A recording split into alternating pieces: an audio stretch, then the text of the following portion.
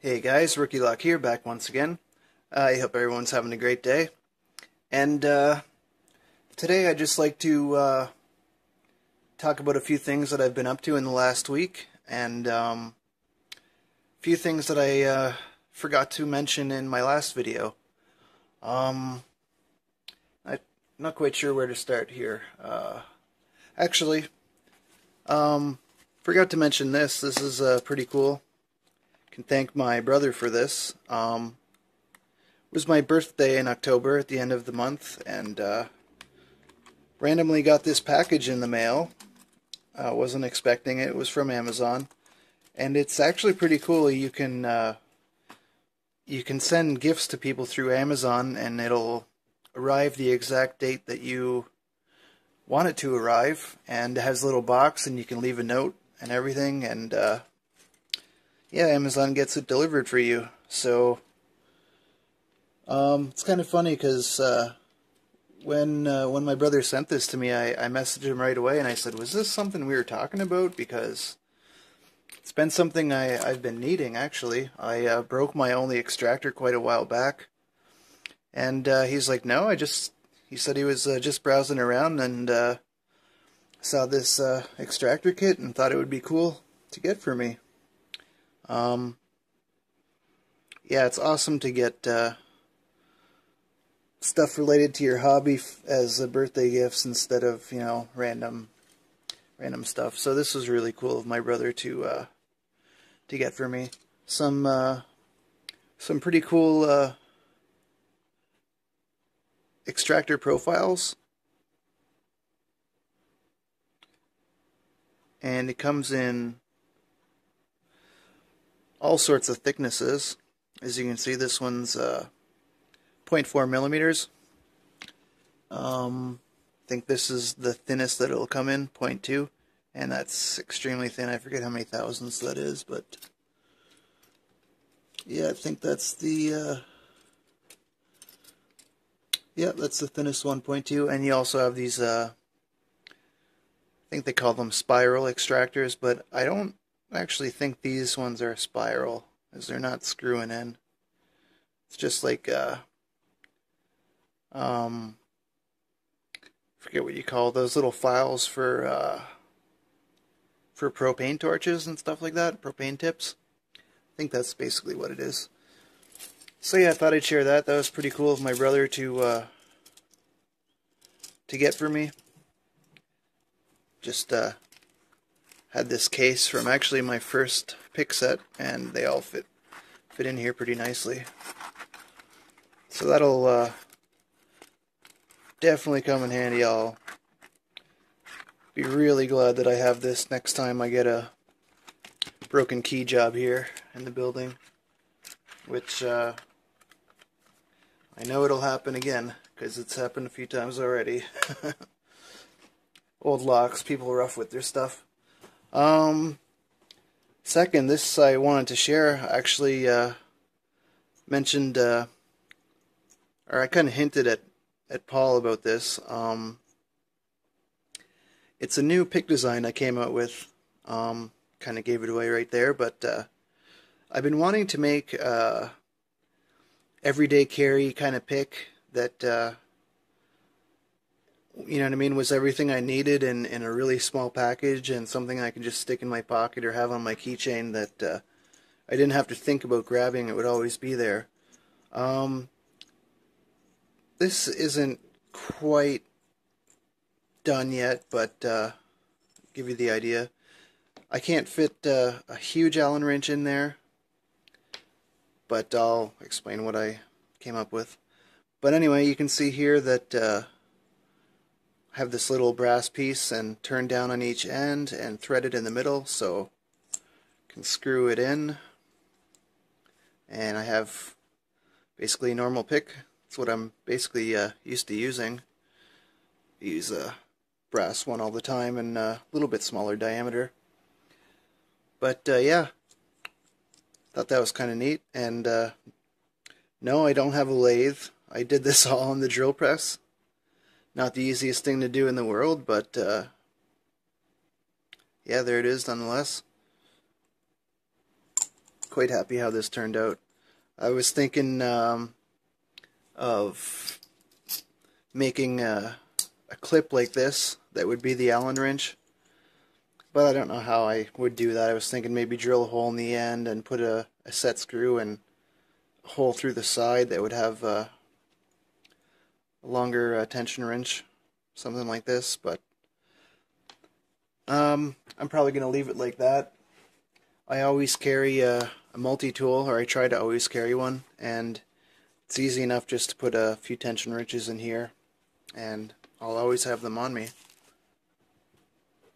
Um, I have, let me see here.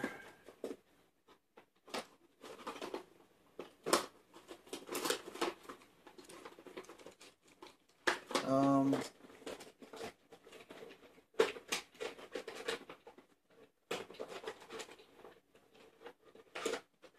can't quite find what I'm looking for.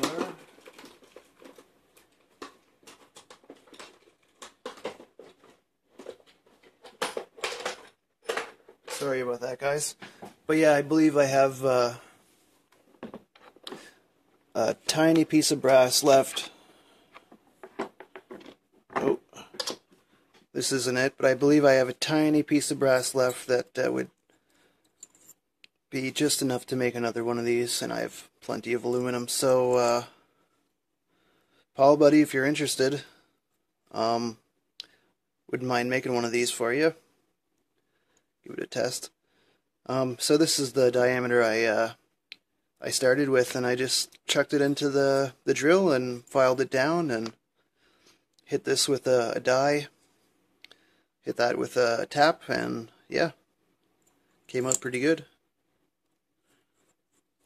I think the hardest part was drilling the whole whole thing here because I don't have super long drill bits and I had to keep clearing out the uh, the hole there.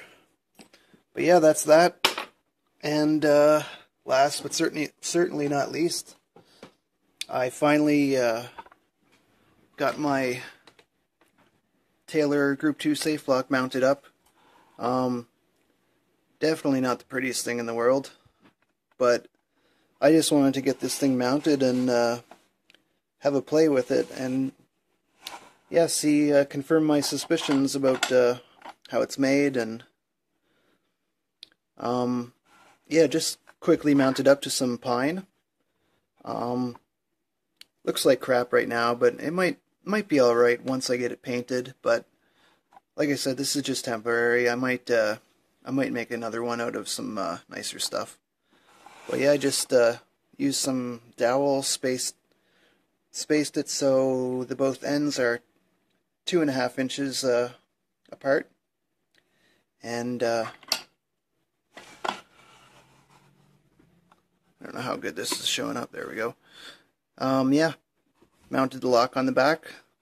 Um, one thing I have to say about these old locks is they're definitely built to tighter tolerances. Look at the uh, how close of a fit the the dial and the uh, the dial ring are. It's just compared to the S and G here, you can see uh, it's not quite the same. Um, and as far as the lock, my suspicions were right. Um, yeah, it's funny how this is just uh, floating in there until you put the cap on. But, uh, so, I mean, it's obviously not a direct entry because it has, you know, the cam wheel and the, uh, the lever nose here. But it just seems like, I still have to space this a little bit, but it, it really seems like the lever, um, doesn't ride on the cam wheel because it's just you can't feel anything at all. But if I push down, and right now, actually right now, some of the gates are lined up. Um, I push down, and I can. He says, if I can get my finger in there without blocking the view. Oops. I'll do it that way. yeah, so I can feel that contact point, obviously, but can't really feel that one. But it is, uh, it is riding on the wheel. And I've read the same thing in the forums. Some people can, can feel the, uh, left contact point, or some people can feel the right one, but yeah, it's uh, really built to good tolerances. I want to say that uh, that lever is only a couple thousandths. How could I say that? Um, yeah, the lever is only a couple thousandths. There's only a little bit of a gap between the uh, fence and the wheel when the lever nose is riding on the uh, the cam wheel there. It's funny, I push down now and I can't feel anything at all. I guess it really depends where the wheels are. But, uh, yeah, I'm not sure how someone would decode this. I know it's the noisiest lock I've ever seen. I don't, I don't have a huge sample size. I'm not uh, an expert on this by any means, but uh, maybe uh, maybe these old locks, maybe they did use uh, um, sound as a way to uh, to manipulate them. I have read that that is a thing. People do use stethoscopes, um, but yeah, there you can really really depends where the wheels are. But I'm really wondering if the lever nose didn't ride on the cam wheel, um, how someone would manipulate this open. Uh, like I said, I, I, am not too knowledgeable in this stuff, but uh, I think that would almost be like a direct entry, but you can't put tension on anything. Again, I have to do some more uh, reading about that uh, that stuff. But yeah, pretty cool nonetheless. Um, found the combination. Um, oh, I forget it now. But uh, we can just line up the gates here.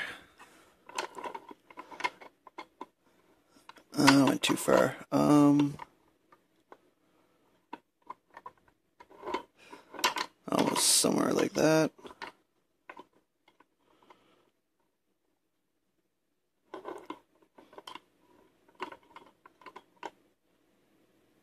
So there our gates are lined up. Might not be exactly in the right position, but uh, put the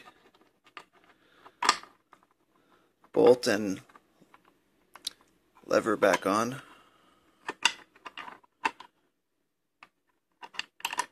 Yeah, they were in the right place.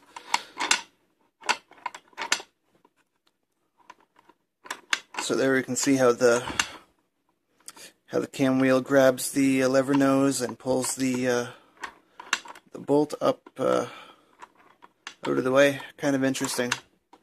And let's see if I just rotate one wheel. Even then, we barely... It's like we're riding on that first wheel or last wheel.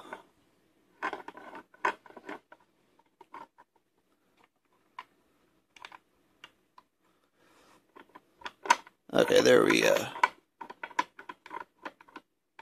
getting some contact. But uh, just to compare it quickly to already 14 minutes, but just to compare it quickly to the old S&G here, or the new S&G, I should say, um, the contact points are unmistakable. Like you can, the the thing will just stop on them. Like, sorry about the glare. But you, this is unmistakable feel through the dial. It'll just stop at the left and right contact points. Um, probably not going to go into detail about how these uh, locks are decoded. Um, I don't mind sharing little things like that where some of the people that are already uh, um, already know how they work um, can understand, but uh, it's quite frowned upon for people to uh, to show how these are manipulated on video and uh, being that I'm working towards becoming locksmith, I don't I don't want to get any anybody mad at me for sharing trade secrets like that. But uh, I say trade secrets, but if you go online, it's it's pretty easy to find uh, find information about how how these are manipulated. Um, I, I'd love to go into detail about it, but I'm not an expert at all. I I only know very little bit. Never even uh, manip- manipulated this open yet. Um, just trying to find some time to sit down and and graph it out. But uh, yeah, I hope you guys understand that uh, my reasoning for that, and uh, I don't know if you're that interested. Just uh, either go check it out or maybe I'll make a private video sometime about uh, about my uh, my progress in in learning, uh, yeah, learning uh, manipulation of safe uh, safe combo locks like that. All right, guys, didn't mean for this to to be so long-winded. It's time to sign off with that. Um, kind of enjoy doing these just random uh, random videos about whatever updates or little things that I'm up to. Let me know what you guys think. But as always, uh, don't give lock pickers a bad name. Don't pick locks that you don't own or have permission to pick. And I'll see you guys in the next one. Take care.